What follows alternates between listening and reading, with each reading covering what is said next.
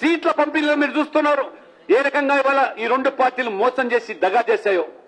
ఒక మహిళా బీసీకి సీట్ ఇవ్వలేని పరిస్థితి ఇవాళ కేసీఆర్ గారిది. ఇవాళ మరి యాభై రెండు శాతం ఉంటే కనీసం ఇవాళ ఇరవై మూడు మందికి మించి ఇవ్వలేకపోయినటువంటి టీఆర్ఎస్ పార్టీ అదే రకంగా ఇవాళ కాంగ్రెస్ పార్టీ ఇరవై మందికి మించి ఇవ్వలేటువంటి పార్టీ. బీసీలు ఎందుకు ఓట్లేయాలి పార్టీలకు. మొత్తం బీసీ సమాజం దయచేసి ఆలోచన చేయండి.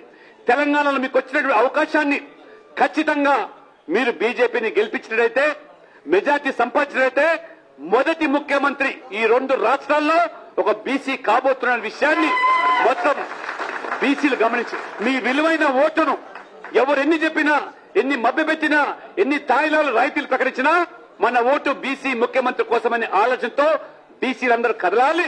అదే రకంగా ఇవాళ ఆర్థికంగా వెనుకబడ్డ వర్గాలు కూడా నరేంద్ర మోడీ గారు ఈడబ్ల్యూఎస్ కింద పది శాతం రిజర్వేషన్ కూడా ఇచ్చినట్టు.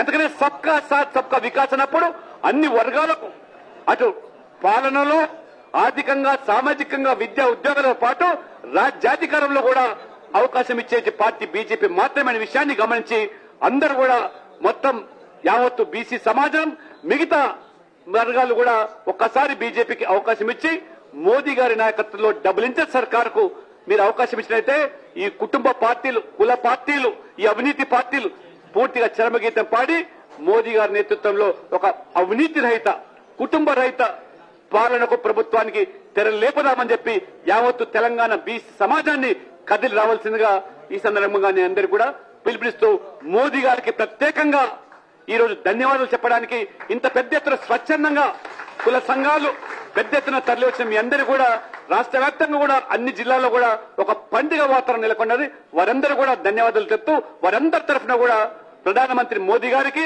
పార్టీ అధ్యక్షులు జేపీ నడ్డా గారికి మన హోంమంత్రి అమిత్ షా గారికి కూడా ధన్యవాదాలు తెలిపిస్తున్నాం